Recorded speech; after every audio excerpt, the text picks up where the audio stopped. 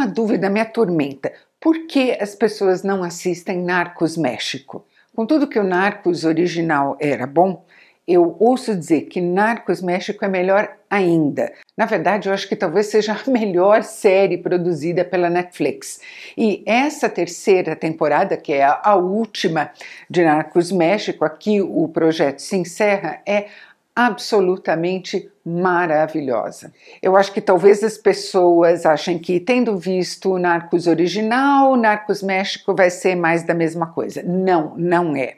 Vocês querem ver como se desenvolve personagem para uma série? Isso aqui é uma aula, é absolutamente maravilhoso. Na primeira temporada, Narcos México começou mostrando para gente como o negócio das drogas tomou pé e se expandiu no México.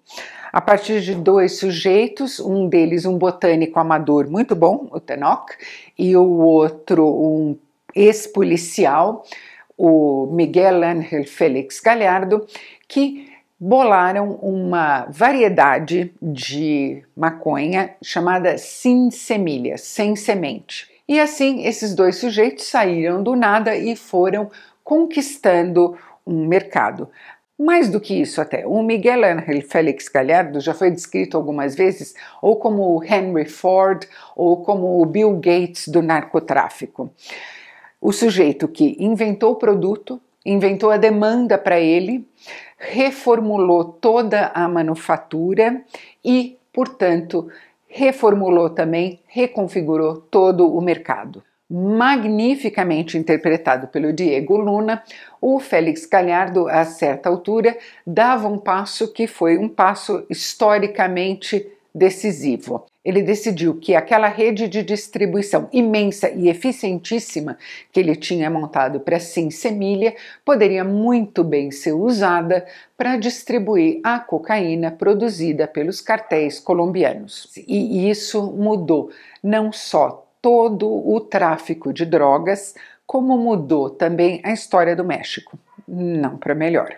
Na segunda temporada, a gente via como o Félix Galhardo tinha organizado todos os cartéis regionais numa espécie de cooperativa, na qual, segundo ele, todos eram iguais, mas que na prática era totalmente comandada por ele. Tão mandada por ele e de forma tão rigorosa que, a uma certa altura, os outros cartéis se juntaram para defenestrá-lo, ou seja, mandá-lo para a prisão.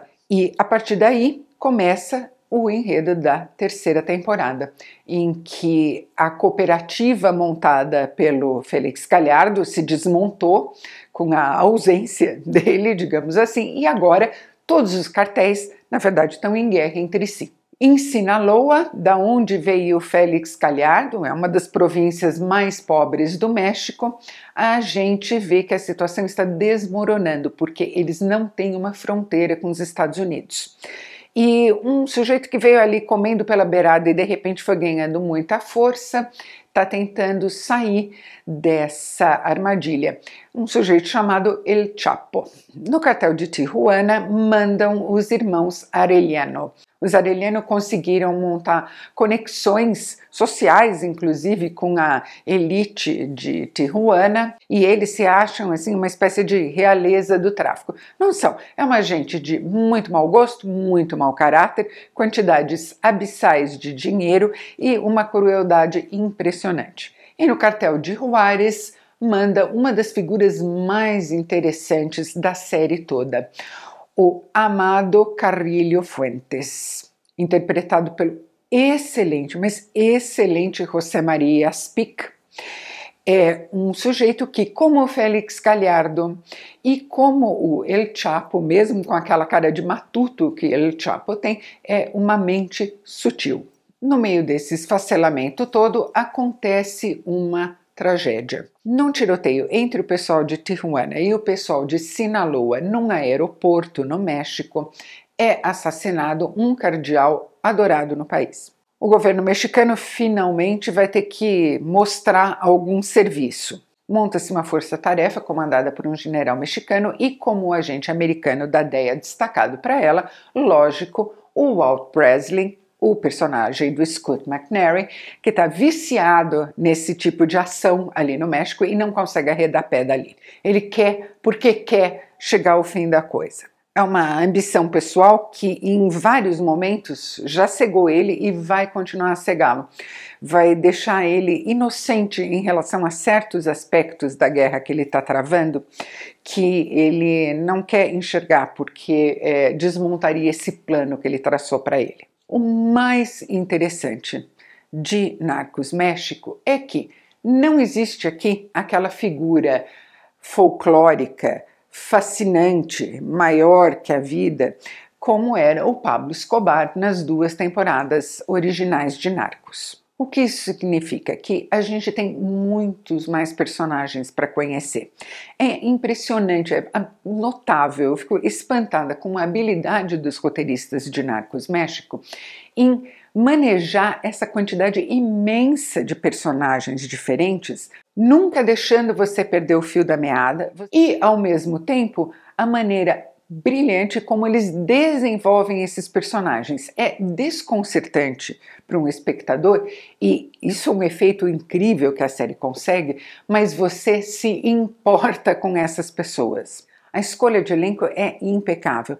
E outra vantagem dela é que a gente não tem familiaridade com a maior parte desses atores, o que torna os personagens deles é, sempre um território a ser descoberto também. A gente não tem preconcepções a respeito desses atores e dos personagens que eles estão interpretando. Você passa a conhecê-las, você passa a entendê-las por menos que você queira. Outra coisa notável na série é a maneira como ela é fotografada e dirigida, é a maneira como Narcos consegue cercar os personagens, ao mesmo tempo que expõe eles em tudo que eles têm de horrível, é, envolve você com eles. Igualmente fantástica é a montagem, a maneira como o ritmo da série flui e reflui, avança e volta. Você está sempre preso nos acontecimentos e nos personagens sem saber no que aquilo vai resultar, como eles próprios nunca têm muita certeza do que vai acontecer. A série obriga a gente a ver aquilo que deveria estar diante dos olhos da gente o tempo todo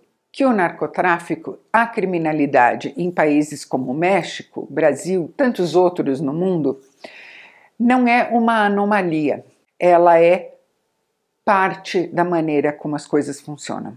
É absolutamente entristecedor e desanimador chegar a essa conclusão, mas a série, muito sensatamente e com muita lucidez, não poupa você dessa conclusão.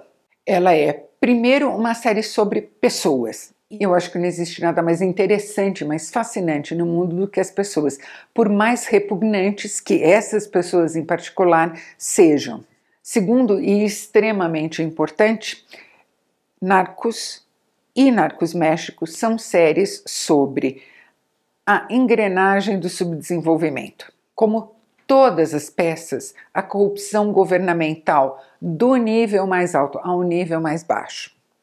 Como a pobreza, a falta de perspectiva, a falta de escolaridade, a inteligência que não encontra caminho para se realizar, o desprezo pela vida dos cidadãos que parte de cima e ecoa, óbvio, em toda a classe criminosa, porque ela deveria ser diferente da classe política, tudo isso faz parte do mesmo caldo. A conclusão a que Narcos México leva a gente vez após vez após vez e parte o coração da gente com isso é que o narcotráfico hoje em dia é ineradicável, porque todas essas coisas fazem parte dele.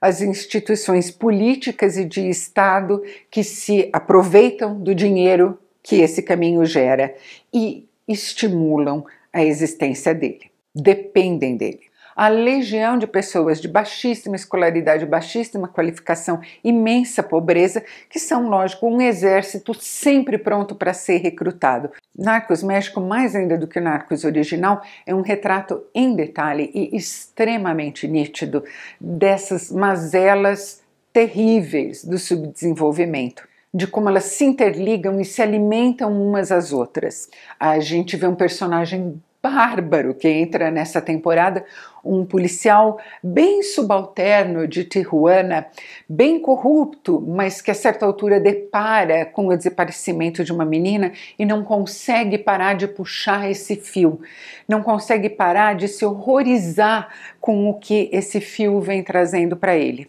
E a gente tem a narradora da série, que desta vez é uma repórter. Sempre em Narcos México existe uma narração em voice-over de algum personagem que acompanha todos os episódios. Dessa vez essa repórter de um jornal que está realmente com muita valentia tentando destrinchar esse quadro de corrupção. O que esse narrador faz em Narcos México é o papel do coro grego, o coro da tragédia.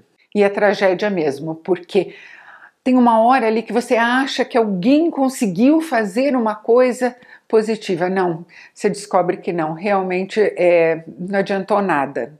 Todas essas pessoas estão tentando ali secar o mar com um balde e na construção belíssima da série, mas belíssima mesmo dessa última temporada, o que a gente vê e que a gente sente nos últimos anos aqui é que o mar só fica maior e cada vez tem menos gente disposta a trazer o baldinho para ajudar a secá-lo. Se você gostou desse vídeo, não se esqueça de curtir.